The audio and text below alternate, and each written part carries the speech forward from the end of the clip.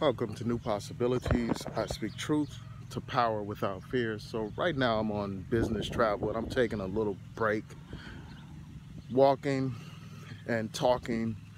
Uh, and I want to talk about a couple of things real quick, do a couple of quick videos. This first video is about the NFL and its new policy. Now they have this new policy that basically requires football players to stand for the playing of the national anthem. And this comes after Colin Kaepernick led his protests against police brutality by refusing to stand during the playing of the national anthem. And you had several players follow his example.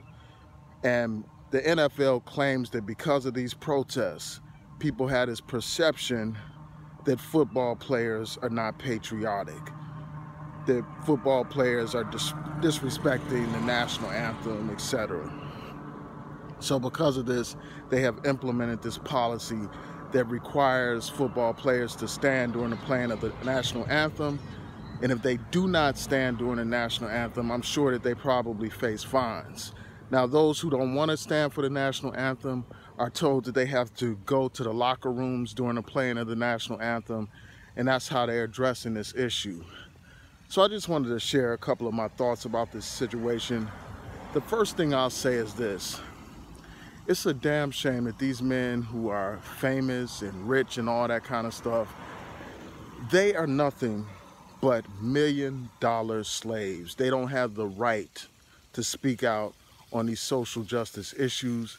They are being reduced to um, a status where they are submissive to these owners. And the terminology is key here. You know, these people who own these teams and run these teams, they are called owners, and they trade these black men literally, in a sense, like you trade slaves, like you trade products that you own, like you trade property. And I think that that speaks volumes about the real nature of the NFL and its relationship to these black men you know, these black men who represent masculinity, who represent power and all that kind of stuff, they're basically being emasculated by the NFL. They're basically being put in their place like a father puts his son in place. Just like they used to put black men in place when they called them boy, when they had to look down when dealing with white men. They had to cross the other side of the street during this uh, Jim Crow era.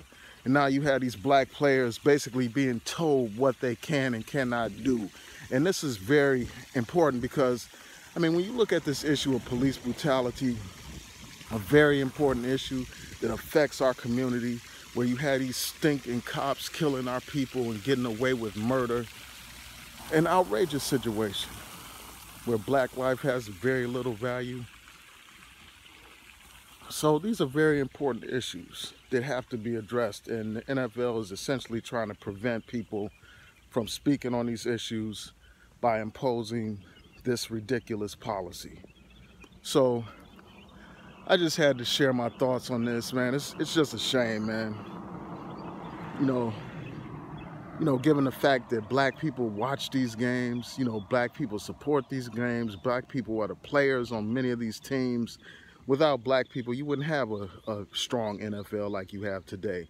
And that's something that we have to realize. We need to harness our power as a community and stand up against this injustice, man. Not only boycott the NFL for its treatment of the brother Colin Kaepernick, but boycott the NFL for this new policy that they are imposing on players. They are basically saying that, um, you know, this issue of police brutality is insignificant. You know, they're basically downplaying that issue and they're more concerned about these appearances of patriotism. How can you be patriotic in a country that allows police to get away with murdering black men and women? How can you have patriotism? How can you sing about land of the free when black people aren't even free to live? When black people can be killed and these police get away with it with impunity? So that's what I had to say about this, man. Um, it's time for us to really be the ones to stand up on this, man.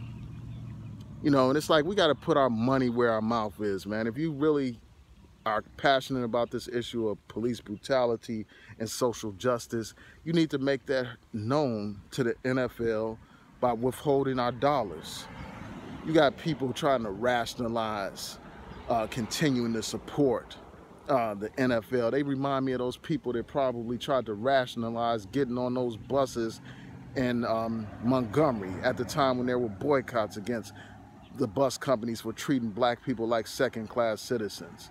You have black people like rationalizing things, making excuses for things, you know, not being uh, unified around principles of justice. You know, more concerned with their own personal inconvenience.